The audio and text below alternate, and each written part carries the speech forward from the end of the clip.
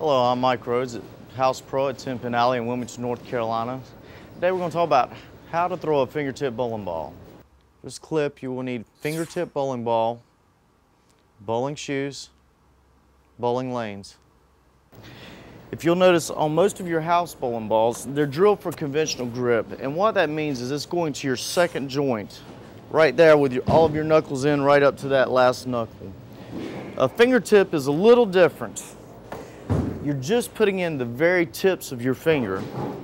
What this does is if you're starting to learn to throw a hook, the less clearance you have with your hand on the ball, the more rotation you can put on it.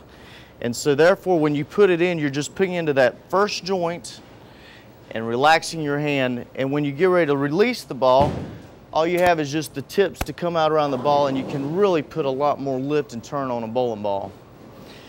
What you need to do is just put it in and let your hand relax once again.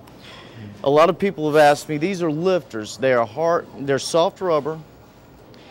And what they are is they're a little bit softer than the bowling ball themselves. So when you're throwing the ball, some people like them because they give you a little more lift, but other people don't. There's no right or wrong there. It's simply a personal preference and feel.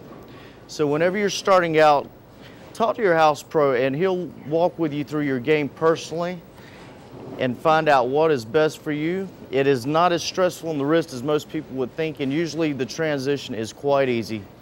And that's how you throw a fingertip bowling ball.